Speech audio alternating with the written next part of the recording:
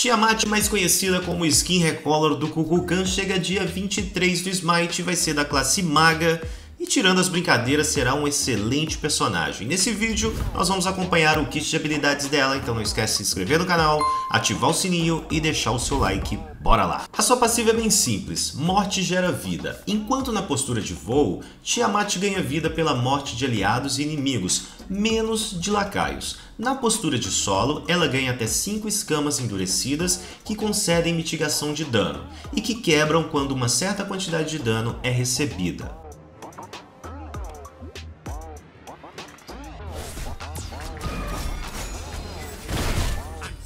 A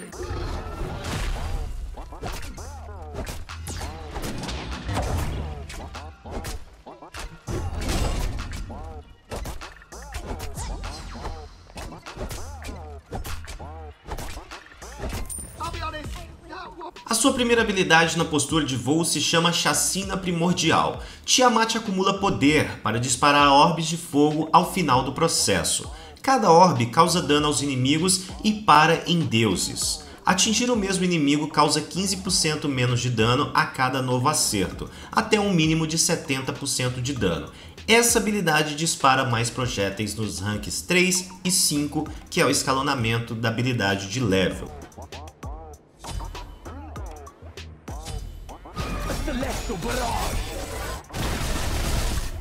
Ainda na postura de voo, a sua segunda habilidade se chama Ruína. Tiamat cria um campo de energia que causa um pequeno dano a todos os inimigos na área, e então um dano muito maior na área interna. A área interna também atordou inimigos por um breve momento.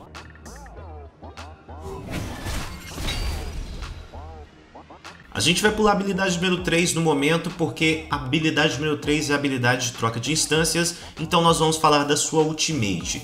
Ainda na postura de voo, Filhos da Criação. Tiamat conjura no campo de batalha um dos seus filhos. Conjura serpente. As serpentes percorrem a rota e agem como lacaios. Conjura fera, que fica de guarda esperando por deuses inimigos. Conjura tempestade, uma tempestade que persegue e levanta os inimigos. Essa habilidade é uma habilidade de seleção. Você clica na habilidade e pode selecionar uma das outras três habilidades a serem conjuradas.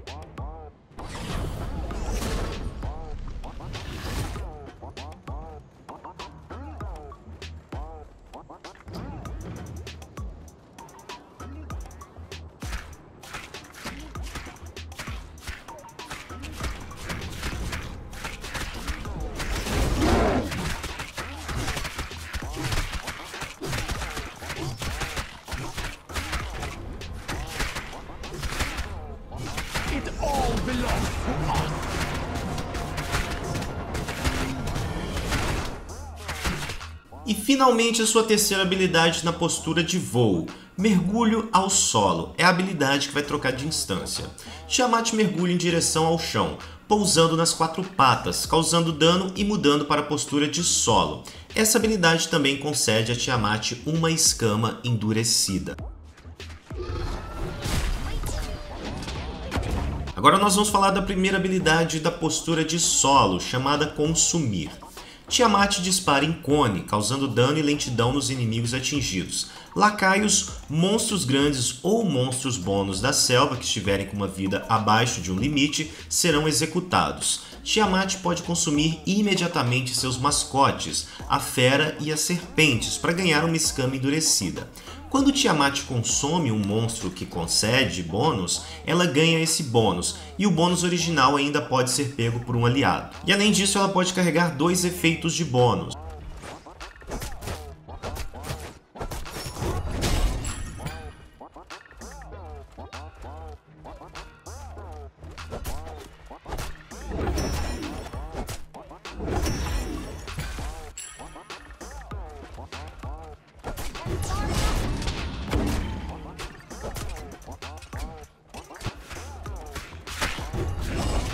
A sua segunda habilidade na postura de solo se chama Explosão de Fúria. Tiamat dá uma pancada no solo, causando ondas sísmicas que emergem em sucessão à sua frente, causando dano e arremessando ao ar os inimigos atingidos.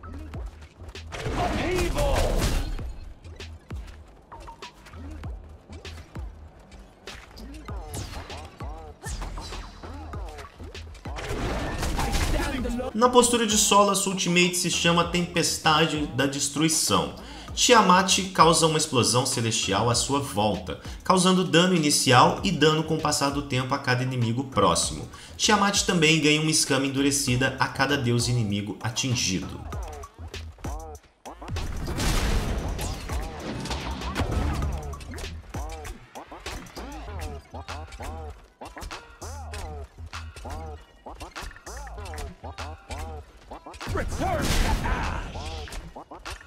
E assim como na postura de voo, a sua terceira habilidade é responsável pela troca de instância.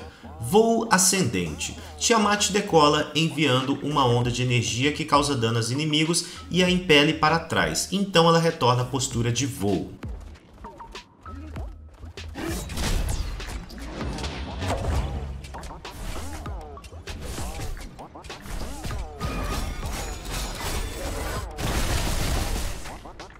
Então, galerinha, esse daqui é o kit de habilidades da Tiamat. Lembrando que a fera dura até 30 segundos no campo de batalha e as serpentes elas têm a duração ali infinita até que sejam mortas pelo inimigo. Gostaram desse kit de habilidade? Deixem nos comentários a sua opinião. Não esquece do like nesse vídeo. Um abraço para todo mundo. Valeu e fui!